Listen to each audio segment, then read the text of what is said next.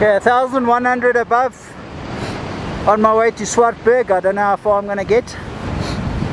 But yeah, beautiful blue sky. I'm hoping these fields down here will work. Otherwise I'm going to have to run for that cliff face.